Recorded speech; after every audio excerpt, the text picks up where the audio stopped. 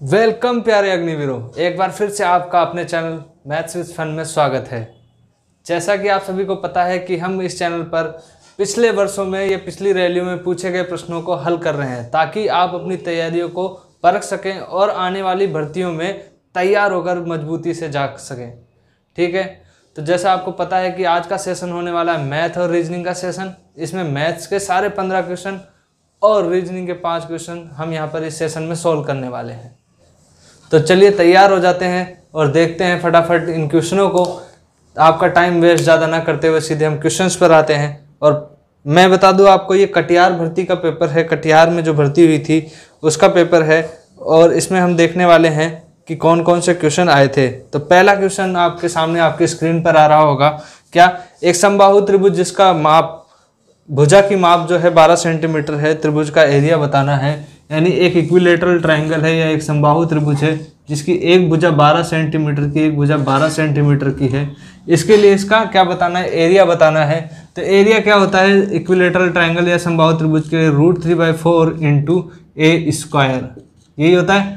तो इसका जवाब हो जाएगा root three by four into बारह इंटू बारह। ये चार से गया तीन बार और ये हो गया छत्तीस रूट तीन। तो इसका आंसर हुआ छत्तीस रूट तीन सेंटीमीटर स्क्वायर तो आप सभी ने देखा प्यारे अग्निवीरों, कि अगर फॉर्मूला याद था तो ये क्वेश्चन आपके लिए बहुत ही आसान क्वेश्चन था। और अगर फॉर्मूला याद नहीं था तो ये क्वेश्चन थोड़ा आपके लिए मुश्किल हो सकता था। ठीक है, चलिए अगले क्वेश्चन पे आते हैं। पाँच अंकों की सबसे बड़ी संख्या ज्ञात करनी है, जो कि सत्रह से विभाज्य हो। ऐसी संख्या बतानी है पाँच अंकों की, जो सत्रह से विभाज्य हो, पर वो सबसे बड़ी संख्या होनी चाहिए। तो हम एक क्या करते हैं, सबसे बड़ी संख्या पहले हमें पता है पाँच अंकों की क्या हो सकती है। यही हो सकती है, इससे बड़ी संख्या और कोई नहीं हो सकती है। तो इसमें से क्या करना है, सत्रह का भाग देना है। तो आप क्या करो, सत्रह का भाग दे दो। सिंपल, यहाँ से मैं बताता हूँ तरीका। सत्रह का भाग दे दो, सत्रह का भाग दो कितनी बार जाएगा? ये पाँच बार जाएगा, पिचासी आएगा। यहाँ से आया चार, यहाँ से आया एक और ये फिर सत्रह का भाग कितनी बार जाएगा? आठ बार जाएगा। तो यहाँ से आया तीन, यहाँ से आया एक, फिर नौ, फिर आठ बार चला जाएगा। फिर यहाँ से आया तीन, यहाँ नौ। ये दो बार गया, यहाँ पे बचा रिमाइंडर पाँच। क्या बचा? शेष फल कितना बचा? पाँच। तो हमने जो नंबर माना था, इसमें से क्या करना है? बस आपको पाँच घटा देना है। ऐसा किसी भी संख्या के लिए आपको पूछा जाए तो आप ये सेम पैटर्न लगा करके क्या करते हैं, क्वेश्चनों को हल कर सकते हैं।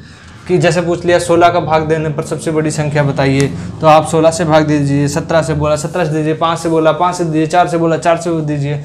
जिससे भी बोला, उससे कर सकते हैं। तो पाँच रिमाइंडर आ गया, इसको इसमें से घटा देना है। इस पाँच को इसमें से घटा देना है। तो ये नौ नौ नौ नौ नौ, इसमें से पाँच घटाओगे तो क्या आएगा? Nine nine nine nine, four.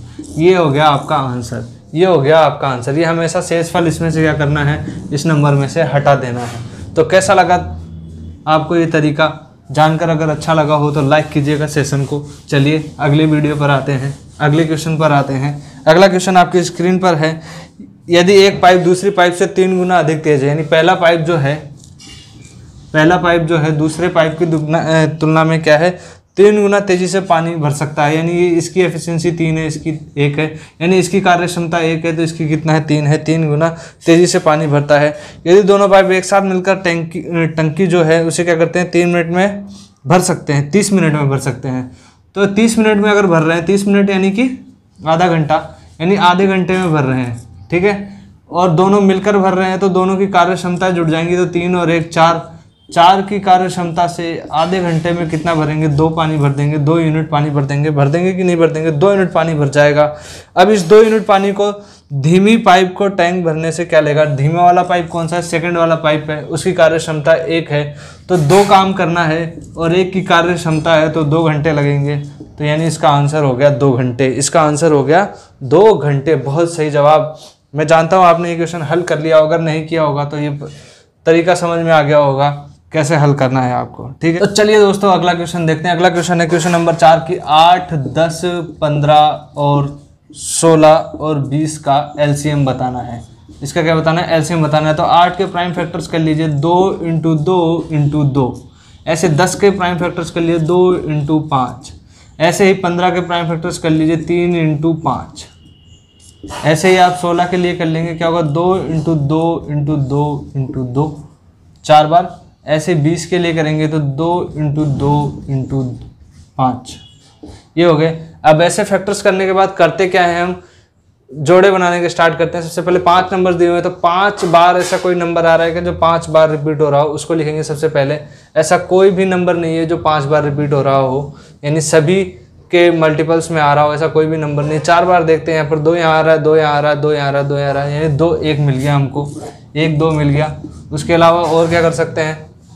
और कोई नंबर आ रहा है क्या? चार बार। और कोई नंबर चार बार नहीं आ रहा है। अब तीन बार देखना स्टार्ट करते हैं। तीन बार कौन सा नंबर आ रहा है? दो आ रहा है। दो आ रहा है, दो आ रहा है। ये क्या? दो एक और हो गया। ठीक है।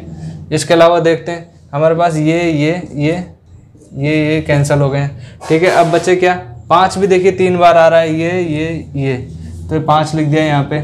उसके अलावा और आगे क्या आ रहा है? अब कोई नंबर आ रहा है कि तीन बार। तीन बार अब कोई नंबर नहीं, अब दो देखना स्टार्ट करते हैं। एक ये दो है, एक ये दो है, ये आ गया दो। ठीक है, अब कोई नंबर आ रहा है कि नहीं आ रहा, कोई भी पेयर नहीं बन रहा तो जो बचे हुए रिमेनिंग नंबर है, उन्हें एक साथ मल्टीप्लाई करके लिख देंगे, तीन इंटू दो। अब इन्हें मल्टीप्लाई करके देखें, आप दो दूनी चार, पंजे बीस, दूना चालीस, तीन एक सौ बीस, दूना दो सौ चालीस। तो दो सौ चालीस क्या हो गया इसका? एल्शियम हो गया, बहुत बढ़िया। आपने ऐसे जवाब दे दिया होगा। इसके अलावा और तरीके भी हैं। आपको जो तरीका आता है, उस तरीके से आप निकाल सकते हैं। मैंने आपको सबसे बचपन वाला इजी वाला तरीका बता दिया, ताकि अभी सीखने के लिए आसानी रहे। इसके अलावा भी कई तरीके होते हैं निकालने के लिए, वो हम आगे के सेशन में देखते रहेंगे। ठीक है? अगले क्वेश्चन पे आते हैं। क्वेश्चन है कि दस परसेंट, बीस परसेंट और तीस परसेंट। दस परसेंट, बीस परसेंट और तीस परसेंट की क्रमिक छूट दी गई है, यानी कि डिस्काउंट दिया गया है। तो एकल छूट क्या होगी? मान लेते हैं कि सौ रुपये कोई आर्टिकल था, उस पर दस परसेंट की छूट दे दी गई, नब्बे परसेंट का हो चुका है वो। उस पर बीस परसेंट की और छूट दे दी गई तो अस्सी परसेंट का हो चुका है वो। और तीस परसेंट की छूट दे दी गई तो सत्तर परसेंट और हो चुका है वो। ये सौ से सौ कैंसिल हो गया। ये ऊपर के तीन ज़ीरो से नीचे के तीन ज़ीरो कैंसिल हो गए। बच्चा कितना? नीचे एक ज़ीरो और नौ इंटू आठ इंटू सात बटा एक ज़ीरो। तो नौ आठ को किया तो बेहतर फिर सात से किया तो सात दूनी चौदह और एक उनचास और एक पचास। पचास दस बटा दस यानी पचास पॉइंट चार। अब वो नंबर पचास पॉइंट चार रह गया है। पहले वो नंबर कितना था? सौ था। तो यानी टोटल डिस्काउंट कितने का मिला है? Forty six forty nine point six का। Forty nine point six percent का डिस्काउंट मिल चुका है, आप देख सकते हैं। सौ हमने वो नंबर लिया था।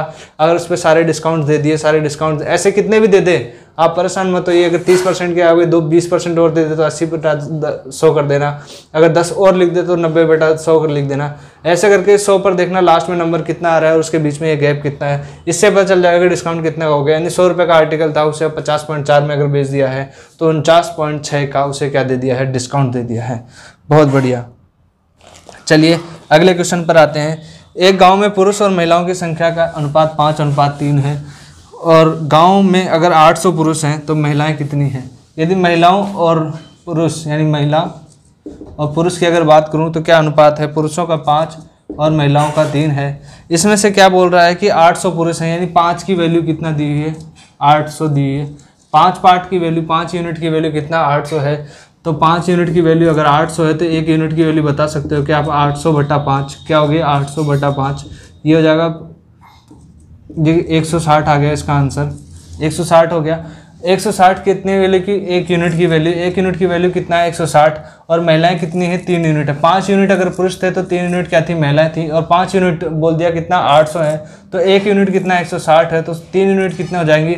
सो, एक सौ साठ इंटू तीन तीन यूनिट तो यही होगी ना। एक यूनिट जब 160 है तो तीन यूनिट एक सौ साठ इंटू तीन बराबर 480 यानी 480 महिलाएँ। यदि 800 अगर पुरुष हैं और 480 महिलाएँ होने पर क्या होगा? पाँच अनुपात तीन में महिला और पुरुष का अनुपात बन जाएगा। देखा? बहुत बढ़िया। चलिए, अगले क्वेश्चन पर आते हैं। अगला क्वेश्चन आपकी स्क्रीन पर है। एक काम को दस दिनों में क्या करता है? राम किसी काम को दस दिनों में कर देता है और मोहन उसी काम को पंद्रह दिनों में करता है तो जब वे एक साथ काम करते हैं तो वो काम को कितने दिनों में पूरा करेंगे? राम की बात करें, अगर तो वो कितने दिनों में काम को पूरा करता है? दस दिनों में पूरा करता है। और मोहन की अगर बात करें तो वो काम को कितने दिनों में पूरा करता है? पंद्रह दिनों में पूरा करता है। तो दोनों मिलकर इस काम को, सबसे पहले इनका एल्शियम ले लो तो एल्शियम हो जाएगा तीस। इस काम एक टोटल काम हमारा निकल के आ गया कितना? तीस। और ये क्या है? उनका टाइम है। कितने दिन में कर रहे हो? यहाँ पे क्या होती है? एफिशिएंसी यानी कार्य क्षमता आप सभी को पता होगा, ठीक है? तो दस, अगर तीस काम टोटल काम है तो दस एक दिन में, दस दस दिन में अगर काम हो रहा है तो एक दिन में कितना काम हो रहा है? तीन। ऐसे पंद्रह दिन अगर लग रहे हैं तीस काम को करने में तो एक दिन में कितना काम हो रहा है? दो। यानी एक दिन में राम करता है तीन काम और मोहन करता है दो काम। अब दोनों मिलकर इस काम को कितने दिनों में कर देंगे? टोटल काम है हमारा तीस और हर एक दिन वो दोनों मिलकर कितना काम कर देंगे? पाँच काम कर देंगे। यानी एक दिन में तीन काम और दो काम, यानी पाँच काम होगा। यदि एक एक दिन में पाँच काम हो जाता है तो तीस काम को करने में कितने दिन लगेंगे? तो पाँच या गया छः दिन। यानी छः दिनों में इस काम को ये पूरा कर सकते हैं, यदि इनका तीस काम हो। तीस काम हो और तीन और दो की अनुपात में काम कर रहे थे तो कितना काम हो गया? छः दिन इनको टोटल वर्क लगेगा। देखा, बहुत ही आसान क्वेश्चन था। चलिए अगले क्वेश्चन पर आते हैं। यदि दो संख्या है, दो संख्याओं का योग पच्चीस है। दो संख्याओं का योग पच्चीस और उनका अंतर कितना है? तेरह दिया हुआ है। सबसे पहले आप ऑप्शन देखें, उससे ही इसको आंसर कर सकते हैं, टिक फटाफट। ये दूसरा ऑप्शन है। इक्कीस अनुपात इक्कीस कौमा चार, ये तीसरा ऑप्शन है, उन्नीस कौमा छः और चौथा ऑप्शन है चौदह कौमा तेरह। अब क्या बोला? है योग तो होना चाहिए, पच्चीस और अंतर होना चाहिए तेरह। योग हो रहा है पच्चीस में अगर अंतर नहीं है तेरह, योग हो रहा है पच्चीस और अंतर भी है, अंतर कितने का है? सत्रह का, ये भी नहीं है आंसर योग हो रहा है पच्चीस और अंतर कितने का है? तेरह का, यही हमारा आंसर हो सकता है। इक्कीस और ग्यारह, ये योग है पच्चीस और अंतर है कितने का? तीन का तो ये भी हमारा आंसर नहीं तो आंसर सिर्फ़ हमारा क्या निकल के आया ऑप्शन नंबर तीन। तो कई बार क्वेश्चन क्या आंसर ऑप्शन से भी हो सकते हैं, कुछ ज़्यादा दिमाग लगाने की ज़रूरत नहीं है, ठीक है? चलिए आगे बढ़ते हैं, अगला क्वेश्चन देखते हैं। अगला क्वेश्चन आपकी स्क्रीन पर, यदि ये गोले की त्रिज्या सात सेंटीमीटर है तो पृष्ठीय क्षेत्रफल बताना है। गोले की त्रिज्या सात सेंटीमीटर है, क्या है? गोले की त्रिज्या, एक गोला दिया हुआ है, उस गोले की त्रिज्या कितनी है? सात सेंटीमीटर है, सात सेंटीमीटर है। इसका क्या बताना है? पृष्ठीय क्षेत्रफल बताना है। पृष्ठीय क्षेत्रफल आप सभी बताएँगे, क्या होता है? उसका फॉर्मूला आप सभी को याद होना चाहिए। Four pi R square four pi R square यानी चार गुणा पाई यानी बाईस बटा सात। आर कितना? सात दिया हुआ है। आर स्क्वायर यानी सात इंटू सात सात से सात गया बाईस। सत्तर एक सौ चौवन। एक सौ चौवन इंटू चार होता है छः सौ सोलह। तो छः सौ सोलह सेंटीमीटर स्क्वायर इसका क्या हो गया? आंसर हो गया। देखा आपने, अगर फॉर्मूला आपको याद था तो ये दो मिनट एक बीस सेकंड का क्वेश्चन था, अगर फॉर्मूला याद नहीं था तो ये क्वेश्चन आपसे होना ही नहीं था। तो ज्योमेट्री और ये जो मैंसुरेशन के फॉर्मूले हैं, वो आपको सभी को टिप्स पर होने चाहिए। बहुत ही हल्के हल्के फॉर्मूले हैं, आपको ये याद हो जाने चाहिए। चलिए आगे देखते हैं, बारह लड़कों की औसत आयु दस वर्ष है। बारह लड़कों की औसत आयु दस वर्ष है, उनमें से ग्यारह लड़कों की औसत आयु नौ वर्ष है तो बारह लड़के की आयु बतानी, बारहवीं लड़की की आयु बतानी है। बारह लड़के हैं टोटल हर एक की औसत आयु दस वर्ष है। औसत आयु का मतलब होता है प्रत्येक के पास में बराबर होना। या यदि मैं बोलता हूँ, आप सभी के पास में दस दस रुपये हैं तो औसत दस रुपये है, यानी कि सबके पास दस दस रुपये हैं। तो दस दस अगर औसत आयु है तो यानी हर सभी के पास दस दस वर्ष है तो बारह लोगों की टोटल आयु दस वर्ष के हिसाब से कितनी हो जाएगी? एक सौ बीस हो जाएगी। यही बोल रहा है, अगर ग्यारह लोग जो बचे, जो एक को हटा दें, अगर किसी को हटा दें तो उससे उसकी नौ वर्ष हो जाती है, हो सकता है, यानी निन्यानवे हो जाती है। यानी जो हटाया होगा, वो कितना हटाया होगा? एक सौ बीस अगर टोटल था वो पहले, और अब वो निन्यानवे हो गया, यानी वो हटा वाला जो नंबर है, जो वो कैंडिडेट जो हटा है वहाँ से, जिस जिस विद्यार्थी की आयु कम हुई है, जिस लड़के की आयु कम हुई है, उसकी आयु कितनी है? इक्कीस वर्ष है। हाँ। आशा करता हूँ आप सभी को समझ में आ गया चलिए अगले बढ़ते हैं, आगे क्वेश्चन बढ़ते हैं। क्वेश्चन नंबर है ग्यारह। अठारह रुपए के मूलधन को पंद्रह परसेंट प्रति वर्ष की दर से चार वर्षों के लिए साधारण ब्याज पर दिया जाता है। तो आप सभी बताइए कि साधारण ब्याज क्या होगा? बहुत ही आसान सा क्वेश्चन है। साधारण ब्याज क्या होता है? ब्याज क्या होता है? इंटरेस्ट क्या होता है? P into R into T by hundred ये रेट ऑफ़ इंटरेस्ट है, ये प्रिंसिपल है, ये टाइम है। तो इंटरेस्ट निकालना है। प्रिंसिपल कितना है? हमारा मूलधन कितना है? अट्ठारह हज़ार चार सौ। चालीस, उसमें पंद्रह परसेंट का रेट ऑफ़ इंटरेस्ट और टाइम हमारा चार वर्ष है तो सौ से ये दिया, ये गया पच्चीस बार, पाँच से काटा, ये गया पाँच बार, ये गया तीन बार, ये पाँच से काटा तो ये कितना, यहाँ इंटू में दो आ जाएगा दस हटके तो ये हो गया छः।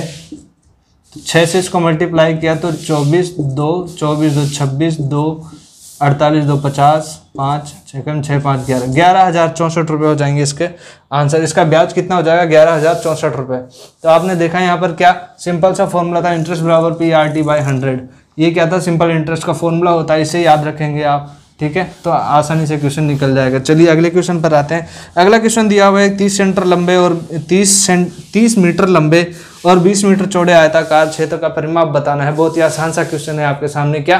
कि तीस मीटर तो लंबे, तीस मीटर लंबे और बीस मीटर चौड़े, तीस मीटर लंबे और 20 मीटर चौड़े एक आयत का परिमाप बताना है। परिमाप यानी पेरीमीटर पेरीमीटर यानी कि उसकी सभी भुजाओं की लंबाई का योग। तो अगर ये 20 है तो ये कितनी होगी? 20 होगी। ये 30 है तो ये कितनी होगी? 30 होगी। इनका सम कर दो 20 20 40 और 30 30 60 40 और 60 सौ।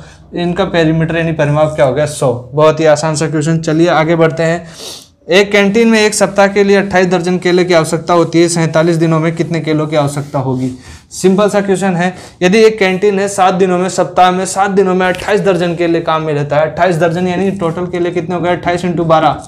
ये सात दिनों के केले हैं तो एक दिन के केले निकाल सकते हो क्या आप? अट्ठाईस इंटू बारह बटे सात अगर कर दूँ तो सात चौक अट्ठाईस, बारह चौक अड़तालीस केले एक दिन में खर्च हो रहे हैं या नहीं हो रहे हैं? बहुत ही सही जवाब आपका होगा हाँ हो रहे हैं। अड़तालीस केले एक दिन में खर्च हो रहे हैं। अगर 48 केले प्रतिदिन खर्च हो रहे हैं तो सैंतालीस दिनों में केलों की आवश्यकता कितनी होगी?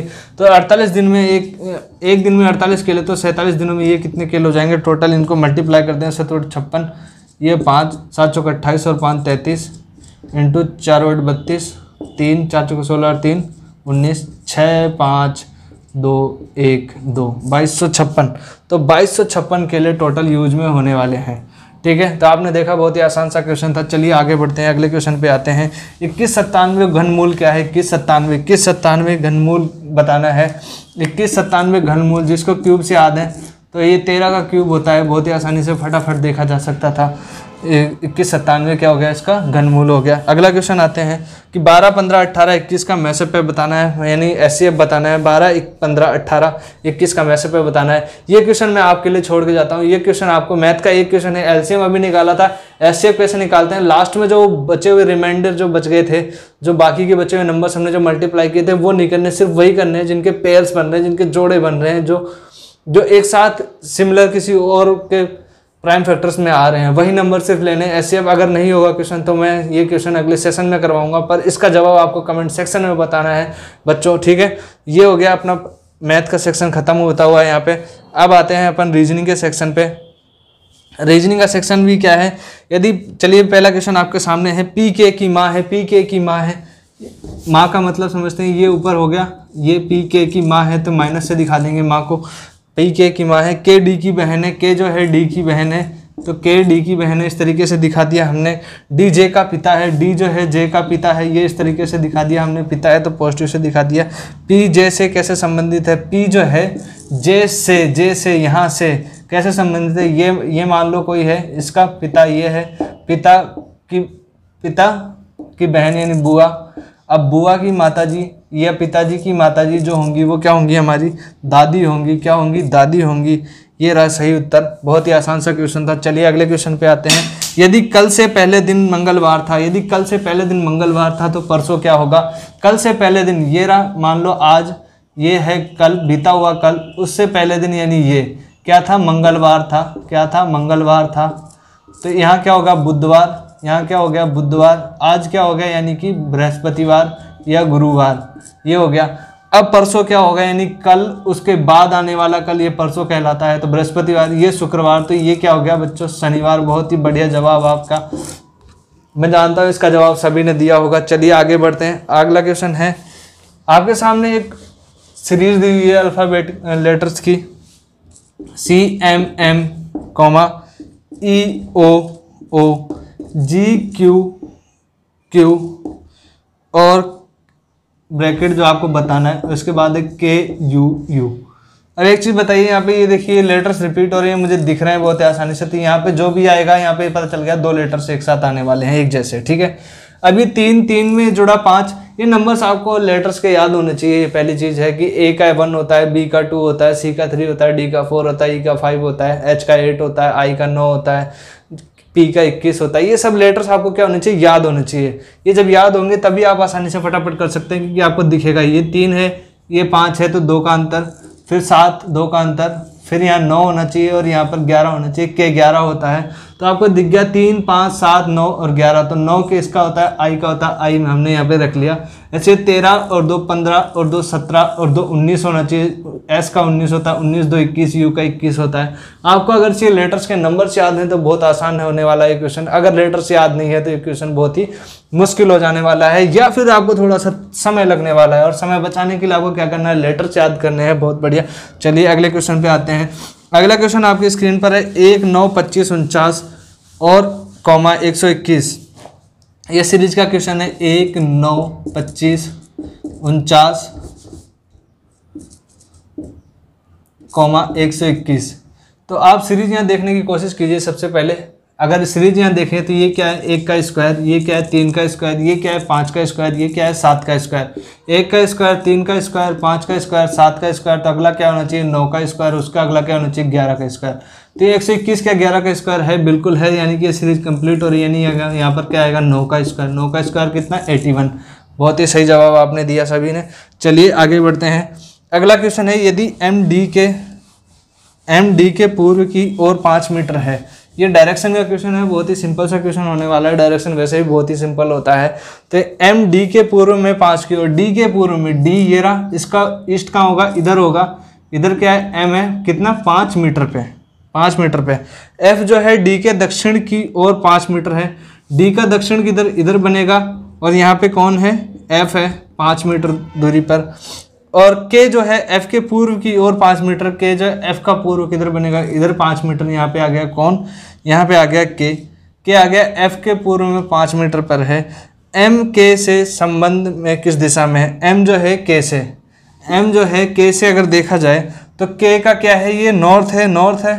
बिल्कुल, ये नॉर्थ है। ऊपर की तरफ़ क्या होता है? नॉर्थ होता है, यानी उत्तर दिशा। तो उत्तर दिशा इसका आंसर हो गया। चलिए, बहुत ही आसान सा क्वेश्चन था।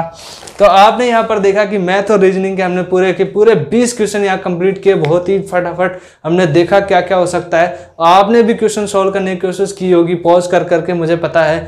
अगर आपने सॉल्व किया और आपको बताइए कितने क्वेश्चन सही और कितने गलत हुए, ताकि अगर किसी टॉपिक की आपको ज़रूरत है कि उस टॉपिक के बारे में आपको जानना है तो वो आप कमेंट सेक्शन में कमेंट करके बता सकते हैं, उसका टॉपिक किस तरीके से आपको उस टॉपिक के क्वेश्चन करने हैं, वो हम अगले सेशन में प्रोवाइड करवा देंगे। तो वीडियो अगर पसंद आया हो, आपको अगर सॉल्यूशन पसंद आए हो तो वीडियो को लाइक शेयर और सब्सक्राइब ज़रूर कीजिएगा चैनल को। मिलते हैं अगले किसी सेशन में। अगले दिन किसी सेशन में अगले पेपर को सोल्व करेंगे। हम जैसे ये अपने बात के एक कटिहार भर्ती का था, ऐसे हम कोई और नई भर्ती का हम कल पेपर फिर से आपके सामने अपलोड करेंगे। तो इस चैनल को सब्सक्राइब कर लीजिए ताकि आपको आपकी तैयारी में मजबूती प्रदान हो सके। मिलते हैं अगले वीडियो में। Thank you so much bye bye